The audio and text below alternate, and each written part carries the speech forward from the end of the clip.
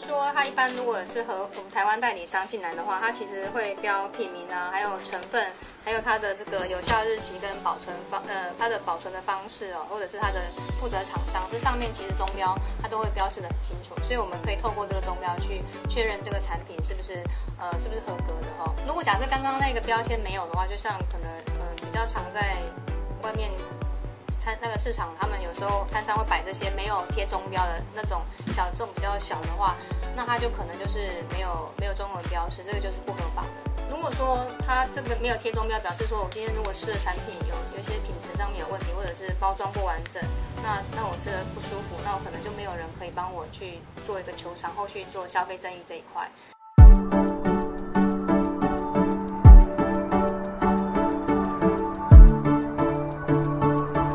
吃到嘴里，嗯，完全颠覆你对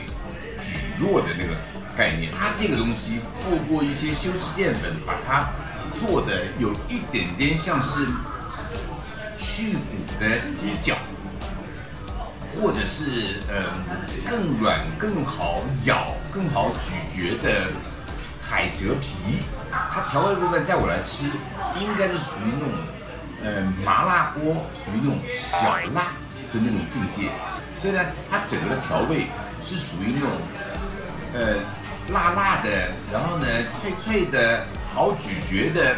而且一包啊量真的不多，我把这一包完全全部倒出来，我们来看看它到底有多少的量，加在一起也不过就这样子一个汤匙的量。所以呢，让你觉得你好像没有吃很多，所以罪恶感相对比较少。因此，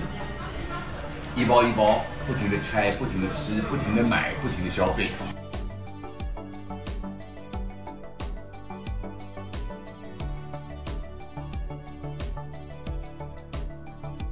其实我一刚开始吃这个魔芋爽的时候，真的感觉。真的蛮爽的，就是很刷嘴，刷嘴之后，我下一个马上就意识到，